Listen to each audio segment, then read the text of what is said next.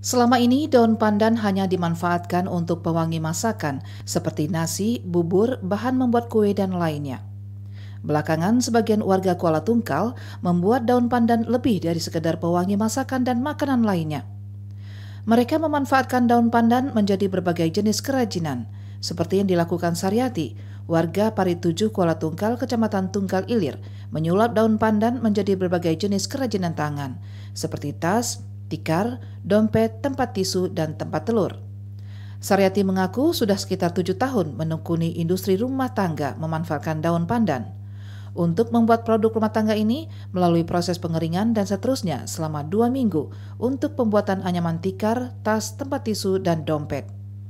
Produk kerajinannya dijual dengan harga bervariasi, mulai dari Rp50.000 hingga Rp200.000, tergantung jenis dan ukuran barang yang diinginkan.